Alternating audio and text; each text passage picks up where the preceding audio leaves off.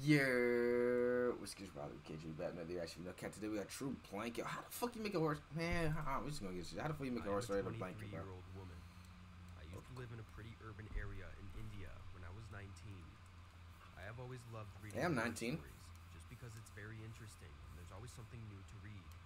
I never believed in such stories though, because my head can't wrap around the fact that there's something other than the animals and humans we see that can affect our lives, or something that can harm us.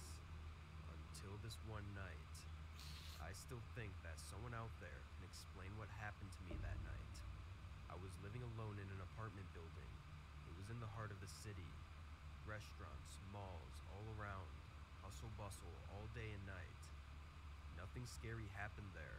It was so alive that my room would still be lit at night with all my lights off.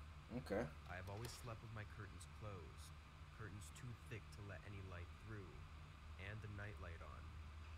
It was a chilly night, so I was using a very thin, bedsheet like blanket to keep me warm. Okay. I dozed off pretty quickly, but I woke up sometime in the night.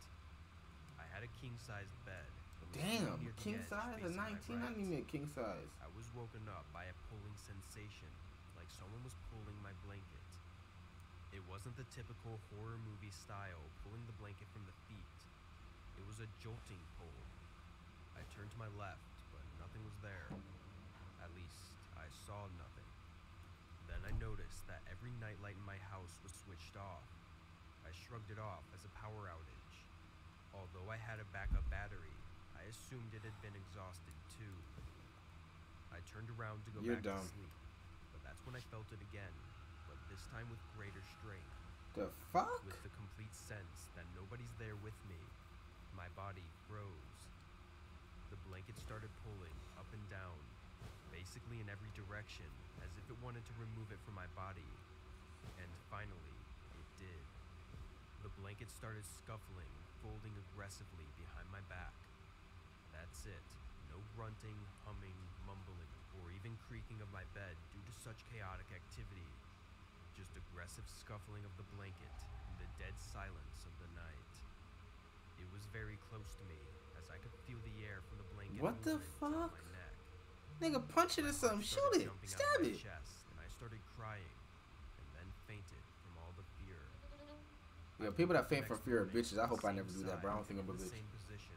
Without the blanket My though. blanket was thrown all the way to the other side of the bed. I looked into the mirror and saw rashes around my neck due to the blanket pulling and rubbing. I lived there for a couple more weeks before I moved out. But thinking about that night, it still keeps me awake all night. All right. That just, I don't see how this is even like. All right. Okay. Thought you were gonna die from a blanket. All right, bro. If you enjoyed the reaction, make sure you like, comment, subscribe.